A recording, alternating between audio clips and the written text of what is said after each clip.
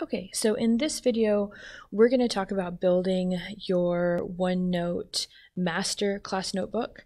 Um, the idea behind the master class notebook is that it gives you a space to build curriculum, store resources, maybe research content before you actually pass that along to your students.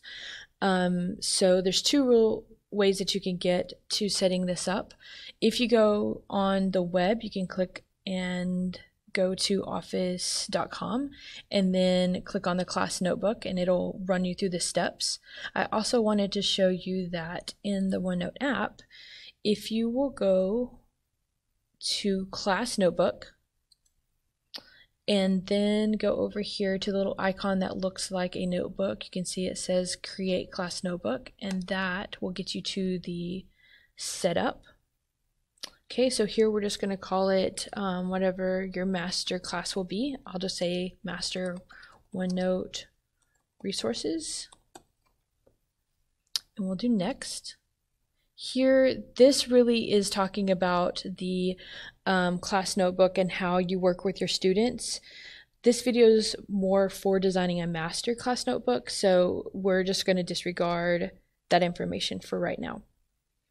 In this step, you have the option of sharing your content with another teacher. So if you and another teacher are collaborating on a class, then maybe you want to share that information between the two of you. So you can give permission to another teacher here. Um, if you have someone in mind, then just type their name um, and add it. The next step, again, this is a class notebook. So you, since we're talking about the master class, you're not going to have students. So you're just going to hit next. Here, I always remove all these default sections. Um, and when we go through the video of setting up the class notebooks, then we'll talk more about that, but just go ahead and remove those. Okay, and then here it gives us the overview of what the teacher notebook is going to look like in the student. Um, and so for our master, we're just going to click create.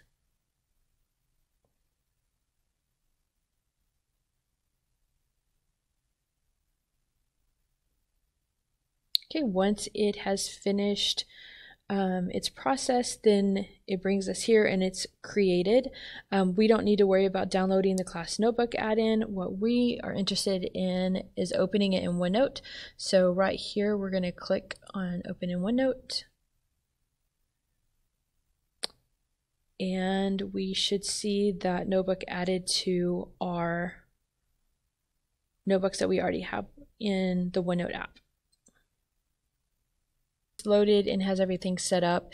It comes default with some information in these sections. And so like for for example with the welcome, it's just giving you standard information about OneNote and um, I like to just go ahead and delete the section after I'm finished with that information to just kind of get it out of my way.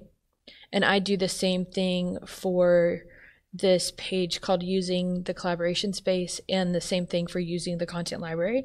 After you have an understanding of that content, you can just delete it.